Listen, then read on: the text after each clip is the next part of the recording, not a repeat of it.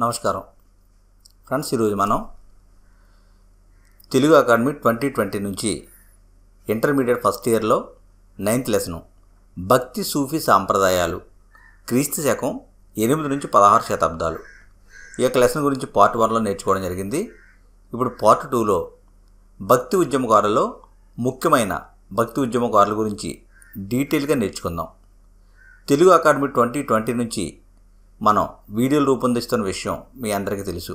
అందులో భాగంగానే civics first year second year కూడా కంప్లీట్ చేసుకోవడం జరిగింది. హిస్టరీ లెసన్స్ మనం నేర్చుకుంటూ ఉన్నాం. అవి కూడా ఒక పాయింట్ కూడా మిస్ కాకుండా నేర్చుకోవడం జరుగుతుంది. మీకు థర్డ్ క్లాస్ నుంచి టెన్త్ క్లాస్ వరకు ఏ లెసన్స్ అయితే ఉన్నాయో ప్రతి లెసన్ కూడా టెక్స్ట్ బుక్ నుండి ఒక బిట్ కూడా మిస్ కాకుండా మైండ్ మ్యాపింగ్స్ అన్ని కూడా రూపొందించి మీకు ప్లేలిస్ట్లో అవైలబుల్గా ఉంచాం. కావాలనుకున్న వాళ్ళు ప్లేలిస్ట్ ఓపెన్ చేసి ఫ్రీగానే చూడొచ్చు. ఇప్పుడు ఈ వీడియోలో భక్తి సూఫీ సాంప్రదాయాలు క్రీస్తు శకం ఎనిమిది నుంచి పదహారు శతాబ్దాలకు సంబంధించి భక్తి ఉద్యమకారులలో ముఖ్యమైన భక్తి ఉద్యమకారుల గురించి నేర్చుకుందాం. ఫ్రెండ్స్ చూస్తూనే ఉండండి కింగ్స్ డిఎస్ యూట్యూబ్ ఛానల్. ఇందులో ముఖ్యులు శంకరాచార్యుడు.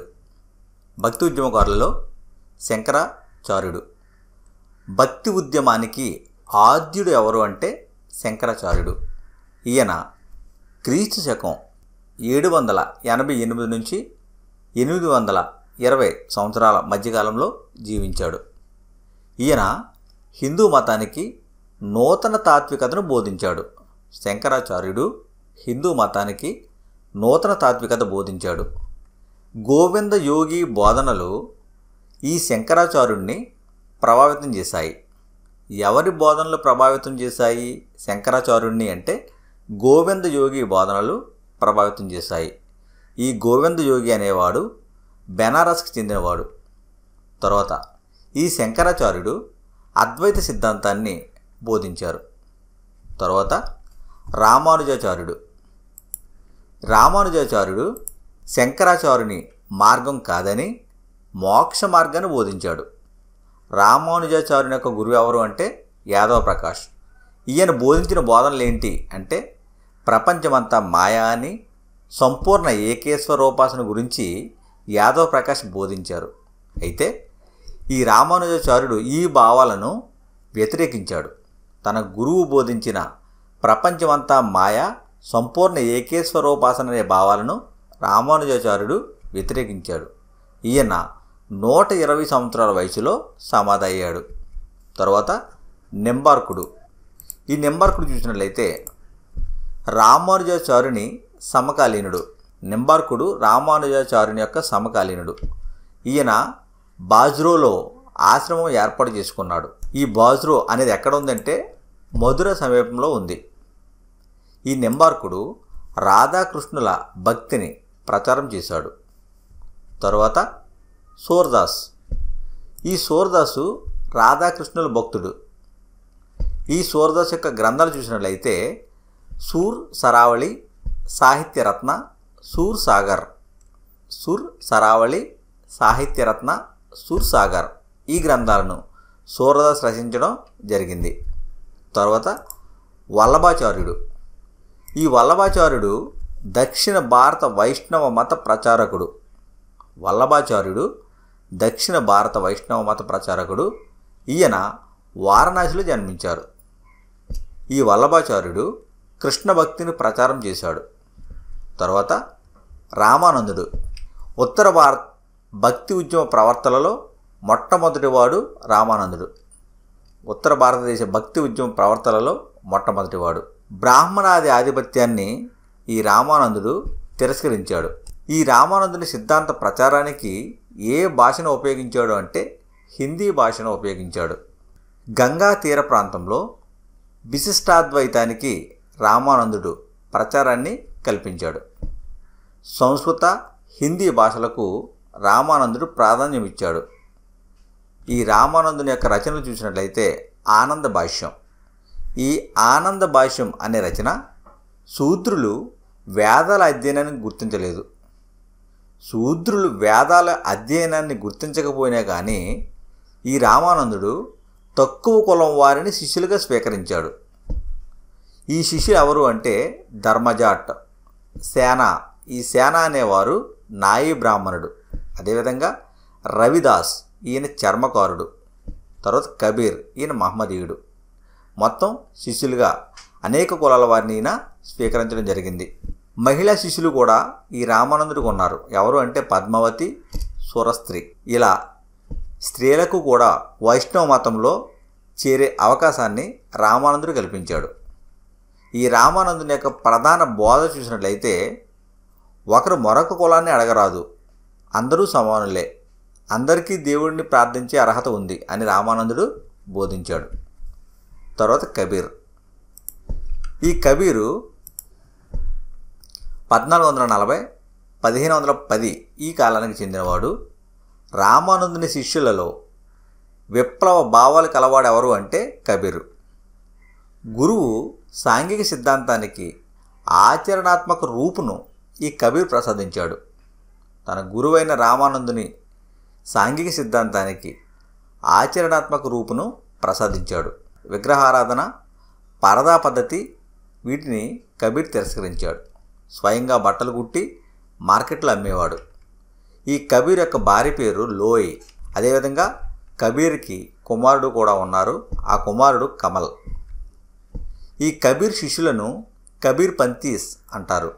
ఇక్కడ బీజక్ బీజక్ అంటే కబీర్ రచించిన దోహాలనే బీజక్ అని పేర్కొంటారు. కబీర్ ఏమని ప్రచారం చేశారు అంటే రాముడు రహీం ఒక్కడే అని. అంతేకాకుండా హిందూ ముస్లింలు ఇరువురు కూడా ఒకే మట్టితో చేసిన రెండు కొండల వంటి వారు అని కబీర్ ప్రచారం చేయడం జరిగింది. ఈ కబీర్ ప్రశ్నించిన అంశం ఏంటి అంటే పవిత్ర హృదయం లేకుండా ఆరాధించడం వల్ల గంగానదిలో స్నానం చేయడం వల్ల ప్రయోజనం ఏముంది మక్కా యాత్ర చేయడం వల్ల ప్రయోజనం ఏముంది అని కబీర్ ప్రశ్నించాడు ఇక్కడ కేఎస్ లాల్ ఈ కేఎస్ లాల్ అనే ఆయన కబీర్ గురించి ఏమని పేర్కొన్నారు అంటే హిందూ ముస్లింలు ఇద్దరూ భగవంతుని బిడ్డలని చెప్పిన మొట్టమొదటి సాంఘిక మత సంస్కర్త కబీర్ అని కేఎస్ లాల్ పేర్కొన్నాడు. తర్వాత గురునానక్. ఈయన పద్నాలుగు వందల అరవై తొమ్మిది నుంచి పదిహేను వందల ముప్పై ఎనిమిది కాలానికి చెందినవాడు గురునానక్. ఈ గురునానక్ కాలంలో ఉత్తర భారతదేశంలో భక్తి ఉద్యమం అనేది వేగంగా పుంజుకుంది. గురునానక్ కబీర్ సమకాలికుడు. ఈయన పంజాబ్. ఈ పంజాబ్ ప్రాంతంలో కార్యకలాపాలను కార్యకలాపాల కేంద్రాన్ని ఏర్పాటు చేసుకున్నాడు. ఈయన జన్మం చూసినట్లయితే పద్నాలుగు వందల అరవై తొమ్మిదిలో గురునానక్ తల్వండి అనే ప్రాంతంలో జన్మించాడు. ఈ గురునానక్ అధ్యయనం చేసిన భాషలేంటి అంటే పర్షియా హిందీ పంజాబీ. ఈ భాషలను గురునానక్ అధ్యయనం చేయడం జరిగింది. ఈ గురునానక్ తండ్రి పేరు కాలూరామ్ అదేవిధంగా తల్లి పేరు తృప్తాదేవి. గురునానక్ యొక్క భార్య పేరు ఏంటి అంటే సులాఖని. గురునానక్కు ఇద్దరు కుమారులు ఉన్నారు ఆ కుమారుల పేరేంటి అంటే శ్రీచంద్ లక్ష్మీచంద్. వీరు గురునానక్ యొక్క కుమారులు. సుల్తాన్పూర్ రాష్ట్ర ధాన్యాగారంలో గురునానక్ పనిచేయడం జరిగింది. ఈ సుల్తాన్పూర్ రాష్ట్ర ధాన్యాగారం ఎవరి కాలంలో అంటే ఢిల్లీ సుల్తాన్ల పరిపాలనలో గురునానక్ సుల్తాన్పూర్ రాష్ట్ర ధాన్యాగారంలో పనిచేశాడు. ఈయన పద్నాలుగు వందల తొంభై నాలుగులో జ్ఞానోదయాన్ని పొందాడు. ఈ యొక్క గురునానక్ బోధనలు ఆది గ్రంథ రూపంలో వెలువడ్డాయి. ఇక్కడ సిక్కు మతం. ఈ గురునానక్ పేరు మీద గురునానక్ యొక్క అనుచరులు సిక్కు మతాన్ని ఏర్పాటు చేశారు. తర్వాత చైతన్యుడు. ఈ చైతన్యుడు పద్నాలుగు వందల ఎనభై ఆరు నుంచి పదిహేను వందల ముప్పై మూడు కాలానికి చెందినవాడు. శ్రీ గౌరంగ అనే పేరుతో చైతన్యుడు ప్రసిద్ధి పొందాడు. ఏ పేరు అంటే శ్రీ గౌరంగ. బెంగాల్ వైష్ణవ ఉద్యమకారుడు ఈ చైతన్యుడు. ఇరవై ఐదు సంవత్సరాల వయసులో కేశవ భారతి నుండి సన్యాసం స్వీకరించాడు. అంటే చైతన్యునికి సన్యాసాన్ని అనుగ్రహించింది ఎవరు అంటే కేశవ భారతి. ఈయన పూరిలో స్థిరపడ్డాడు. ఈ పూరి అనేది ఒరిషా ప్రాంతంలో ఉంది. ఈ చైతన్యుని యొక్క బోధ చూసినట్లయితే సర్వంతర్యామి ఒక్కడే అతడే కృష్ణుడు లేదా హరి అని ప్రేమ భక్తి గానం నృత్యాల ద్వారా భగవంతుని చేరుకోవచ్చు అని చైతన్యుడు పేర్కొన్నాడు. ఈ చైతన్యుని యొక్క రచనలు చూసినట్లయితే శిక్ష అస్తక్. ఈ శిక్ష అస్తక్ అనే రచన బెంగాలీ భాషలో రచించడం జరిగింది. తర్వాత మీరాబాయి. ఈ మీరాబాయి పదహారవ శతాబ్దంలో మహిళా భక్తి బోధకురాలు. ఈమె రతన్ సింగ్ రాథోడ్ యొక్క ఏకైక కుమార్తె. మీరాబాయి రతన్ సింగ్ రాథోడ్ యొక్క ఏకైక కుమార్తె. ఈ రతన్ సింగ్ రాథోడ్ అనే ఆయన అనే ఆయన మేర్తా యొక్క పాలకుడు. ఈయన పదిహేను వందల పదహారులో తన కుమార్తెను భోజ్రాజుకిచ్చి వివాహం చేశాడు.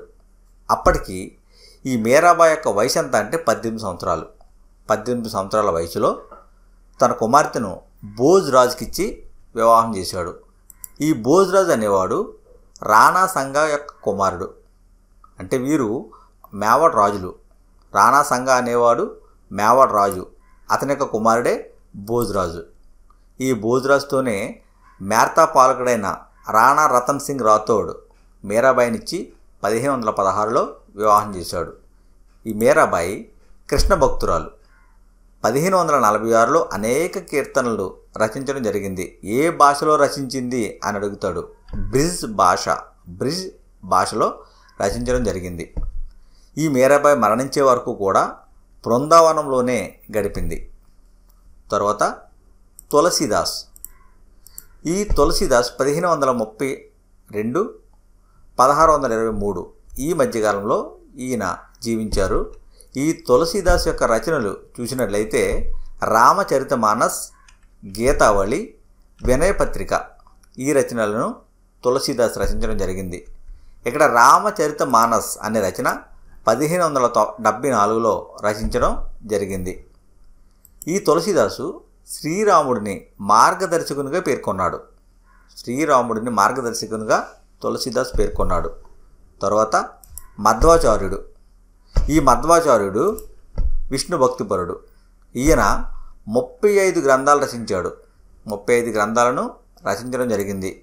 ఉదాహరణ చూసినట్లయితే ఋగ్వేదంలోని తొలి భాగాలకు దశోపనిషత్తులకు భగవద్గీతకు భాష్యాలను రచించాడు ఈ మధ్వాచార్యుడు.